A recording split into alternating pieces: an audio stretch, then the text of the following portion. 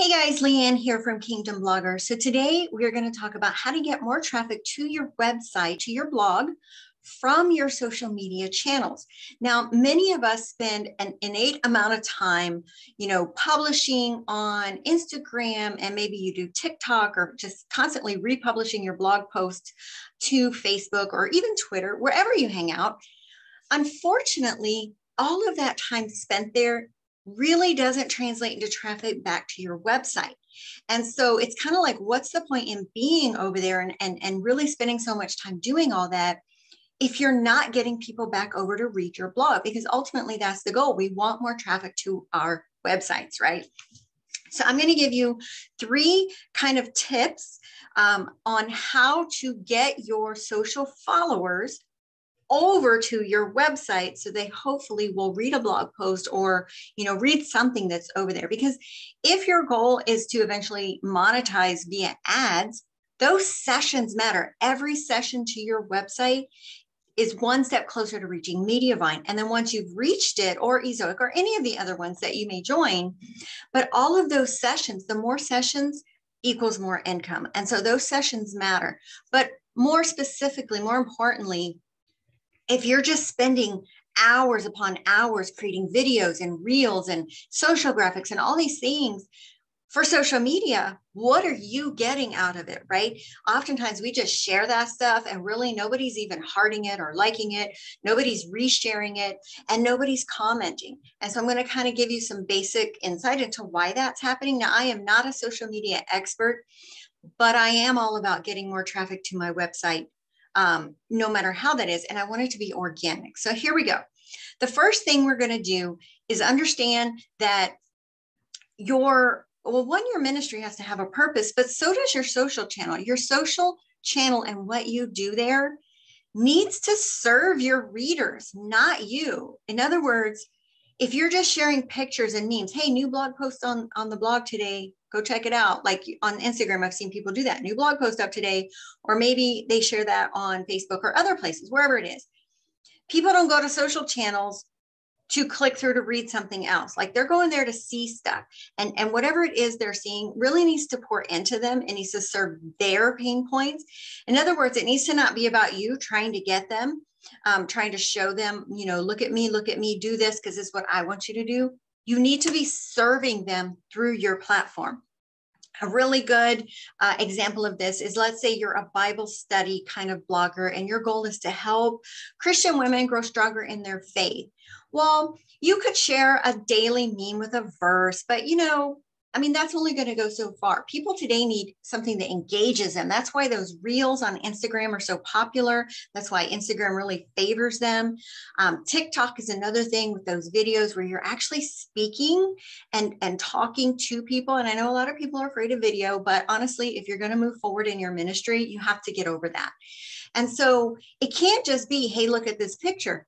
You need to give them something, right? Give them Bible study tips, short little video, or even a written thing with little graphics that move that says, here's how I do this, or here's what this verse means, or whatever. Literally give them the tips.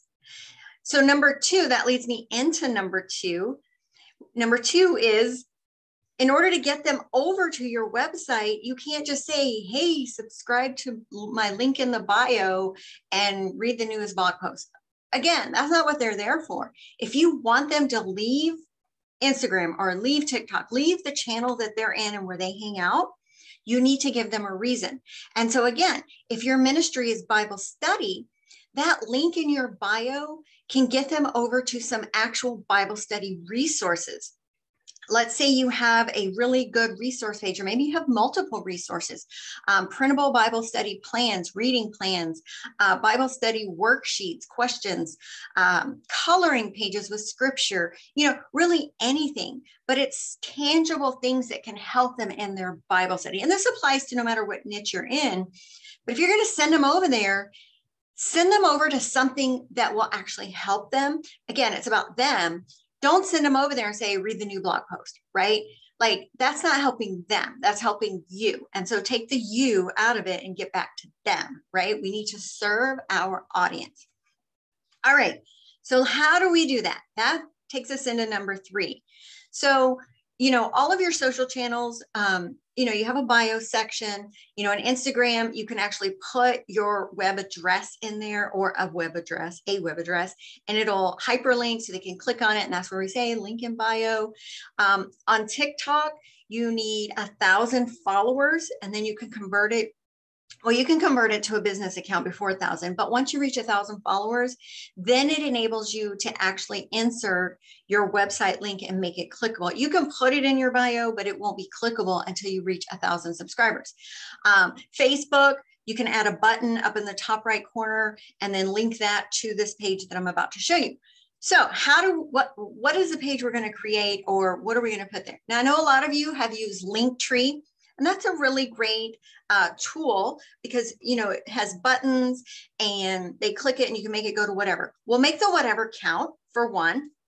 But I'm going to suggest that instead of using Linktree, a third party app, just use your blog. Create a page, uh, not a post, a page on your website and make it look how the Linktree little buttons look. So let's take a look and see what that looks like share my screen. Okay, so here's my Instagram bio. And honestly, guys, I haven't even been active on Instagram in over a year. I literally just got back on it this past week. But I want to say before I show you the how, even in this last year of me literally not posting a single thing to Instagram, I still got a few monthly visitors from Instagram because of my link in bio link right? People would find me uh, because I'm Kingdom Bloggers. You know, a lot of people join our Facebook group and, you know, through my blog post or whatever, and they would follow me and they would click this and that got them over to my website. So your bio should literally say what you're for. What are you helping them with? Don't say just a girl who loves Jesus, sharing it with the world. Okay, that's cool. But if you want them to actually follow you, you got to serve their needs. So mine specifically says helping others to live in freedom in Christ. Get your free Bible study resources below. I'm literally saying, hey, you need some free Bible study resources? Hop over to the site and I have everything you need, right? So, and let me take a step back really quick. Again, I'm just getting re engaged with this this used to be my feed. I didn't get a lot of likes. I mean, I got some likes, but really nobody ever commented. You know, these are pretty pictures. This was like the original Instagram where it's pretty pictures. That doesn't work. People need something to engage them. So I started doing these videos on TikTok and, you know, reels are a thing now. I'm just getting started. So again, I'm not the expert, but what I do know is what I am doing is sending traffic to my blog. So you know, if what you're doing now, if you're not getting, you're taking Google Analytics and you get zero traffic to your blog from Instagram, then you need to reevaluate the strategy that you're using. Okay, so I'm gonna click on this link. Now, this literally goes to my website, not Linktree. Don't give Linktree the traffic. Send them to your website, right? Now, this looks a little different on a screen than it does on a phone, but on a phone, it optimizes and looks exactly like a Linktree. These little buttons, Gutenberg makes it so easy to create these buttons, to make them whatever color you want. I even have, um, if you have a couple of affiliates that you regularly promote, especially for Bible study, put the little things in here. Now on mobile, they go right one up, uh, instead of next to each other, they're kind of like this. Um, now I also have my subscribe. This is this is part of my Mediavine, but you could put an actual subscribe form. Don't just say, hey, to get the latest blog post, um, you know, join our email list. Now I do say that here, but I'm also saying, hey, as well as Bible study tips and resources and free printables and more. So I'm saying, hey, if you want to get more free stuff, join my email list, right? And so I get a lot of email subscribers from this page. There's other things you could put on here. Don't make it too long. Don't like put everything and its mother on here because people are on a phone, right? They're not here to read a book. Put the most important things that relate to the reason you sent them over here and make these little buttons. So mine, I have reading plans, I have worksheets, coloring pages, um, social media graphics, and phone screensavers, right? Simple. Again, the goal was to get them to my site so they click through and read more things on my site. all of these things are free, downloadable, printable things. They do not have to subscribe to get any of the things that I'm giving here. So be mindful of that. Don't make your reader subscribe to get the goodies. Save those subscription goodies where it's like a bigger, better package if you subscribe, but give them some free stuff. The more free stuff you give, the more people are going to want to come to your site. So again, you can put this link in your Instagram bio and make it simple, right? bloggersforthekingdom.com slash Instagram um, or slash social. Like make it something super simple for you to remember. So once when you're creating it, before you hit publish, go over there and edit that slug to just be one word. Instagram, social media, TikTok. You could do one page for each social channel, but why? I mean, they're all going to link back to the same thing. So just make one page. I had done this one as Instagram before I even got on TikTok, but I'm going to use this same one for my TikTok channel right? So again, super, super easy. These are just blocks in Gutenberg. Get creative. Um, you can check out, you know, Ashley from Undoubted Grace has a really great one. Rachel from Healing Home has a really great one. Um, those are two off the top of my head that um, I'm familiar with, but um, there's more. But again, make your efforts count make your efforts fruitful. That way, the people coming to your social channel and following them, and those follow for follow uh, Facebook or threads that we do on Facebook, don't do those. Learn to use the right hashtags. Again, create engaging content for your social media channel, and people will start following you naturally. And to prove that, so I literally started my uh, I started my TikTok for my gardening stuff about two or three weeks ago. And, you know, uh, I don't really share that, hey, follow me. I mean, I do on my home, my like Leanne's Facebook. A few of my friends like to follow my crazy backyard antics.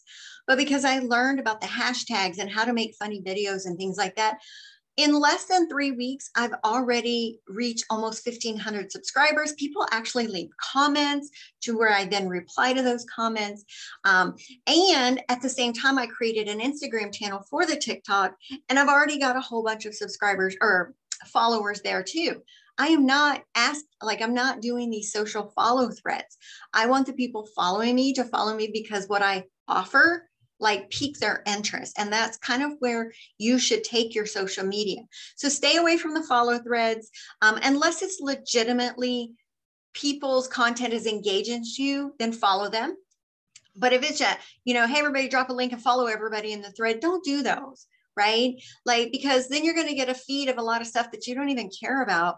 And you would rather have your feed full of stuff that you're actually going to engage with. That way, it also helps their engagement stats. So anyway, that's all. Um, serve your readers or serve your followers, give them a reason to go to your blog and then create a really great um, Instagram bio page or social media bio page that optimizes for mobile devices to provide them all those goodies that you promised them.